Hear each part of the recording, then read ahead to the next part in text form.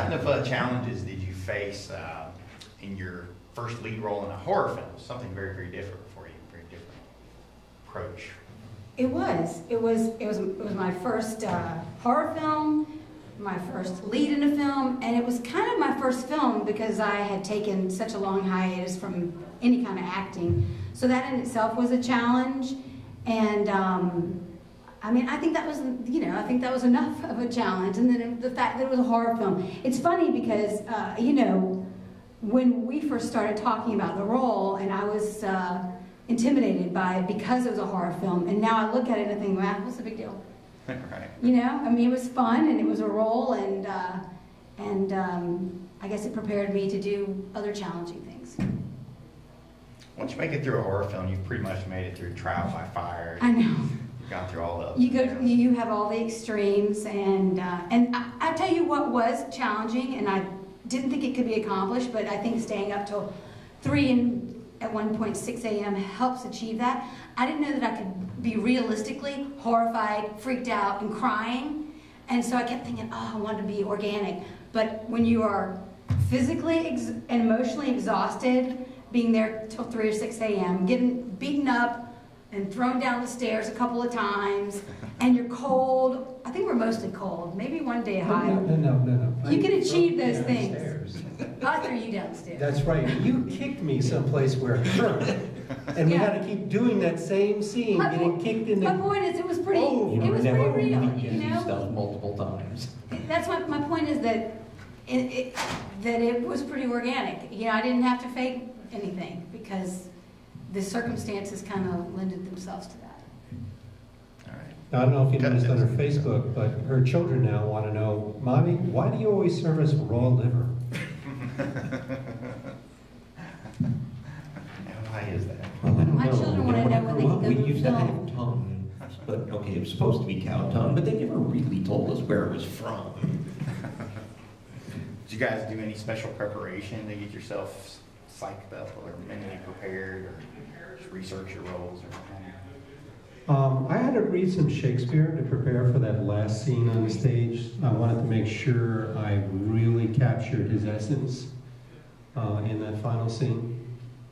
Um, I, I don't know. I mean, I had to work on the I work on the way you wanted me to talk because I don't normally speak that way, and I, I try to get creepier than what I normally am. But I hope that came across. Oh yeah, I did. I did not like Jack the day I met him, and uh, that's because pretty much we were thrown into working at that scene, and and you you were so you were so good in that role. Yeah, I, and I don't think I was supposed to like Max too much. No, I mean, I, I was supposed to be very, very distant from you, and, and actually And I, I found that so impossible to get, wrap my head around, but I had to work on that. That was some prep. That that took some preparation.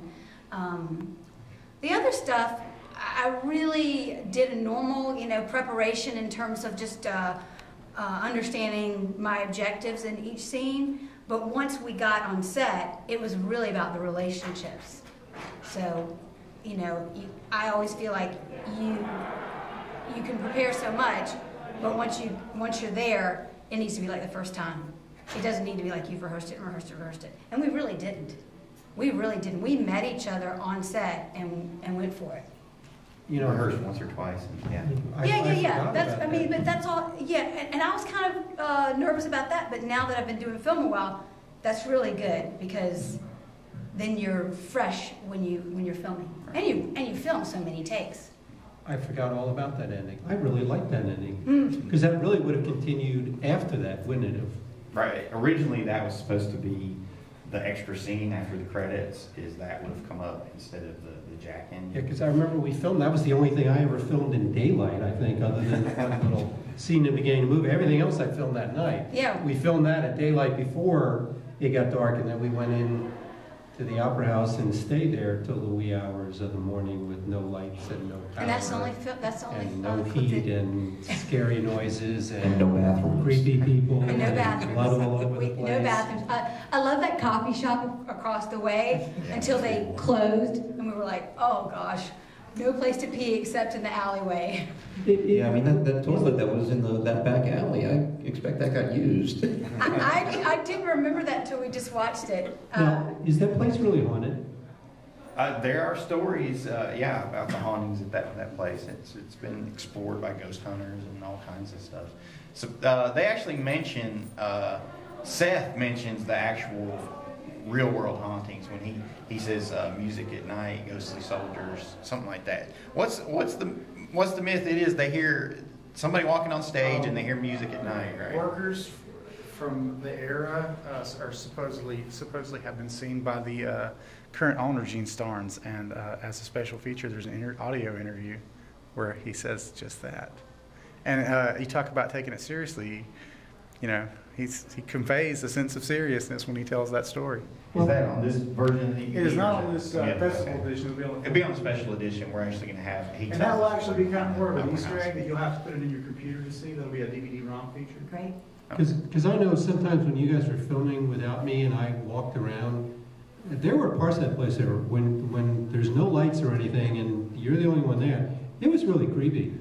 It really was. I also found those front rooms creepy because Yeah. there was creepy stuff in there. Yeah, the, the, the, the dentist Christ- office. Christmas and tree just- stuff and Yeah, I- dentist I- office. You know, I, I was kind of amazed that a lot of that stuff that was um, sort of, you know, it- when you see it, it's, it's not really a lot of set dressing. That was a lot of stuff that was just there. There. That's what made that a great location. It's a great location. And those holes that uh, GB eventually finds himself in, I was afraid of walking into them. In fact, you would say to me sometimes, don't step here, there's a board here. Yeah. Do you remember that?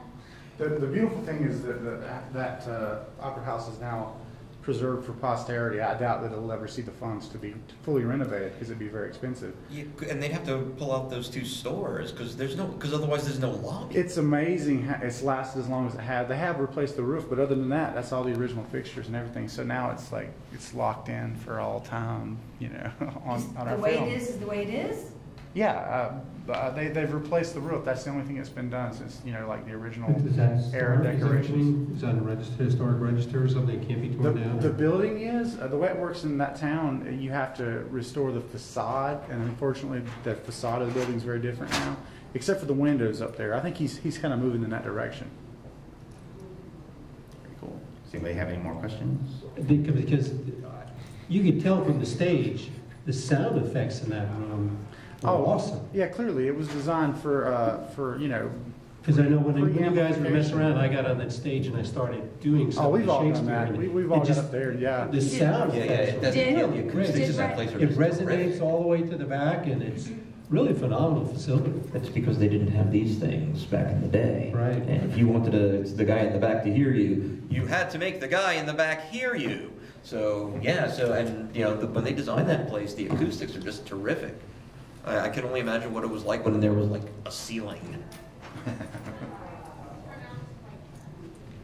Any more questions? Yeah, there looks like there's a dog costume or something. Well, thank you guys for coming. We uh, appreciate you coming to the festival premiere.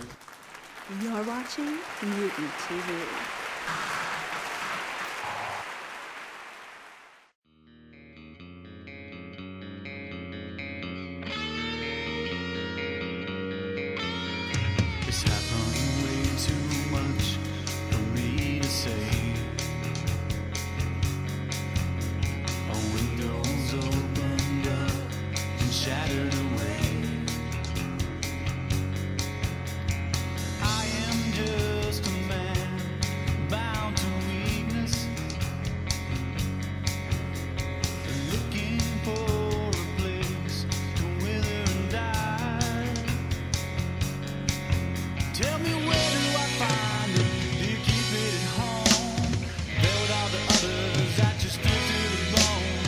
down in your basement or just down the hall.